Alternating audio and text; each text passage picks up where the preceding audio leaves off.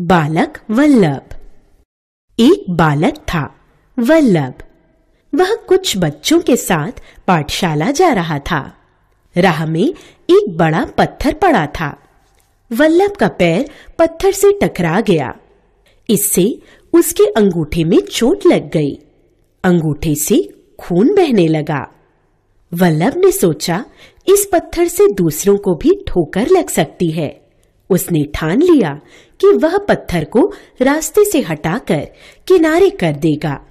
वल्लभ ने अपने साथियों से सहयोग मांगा, लेकिन उसके साथी वल्लभ को अकेला छोड़कर आगे बढ़ गए।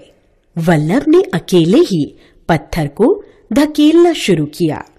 काफ़ी ज़ोर लगाने के बाद पत्थर हिला। वह उत्साह से भर गया। वल्लभ ने खूब ज़ोर लगाया। अंत में पत्थर को किनारे करके ही उसने दम लिया। फिर वह पाठशाला पहुँचा। बालक वल्लभ का पूरा नाम वल्लभ भाई पटेल था।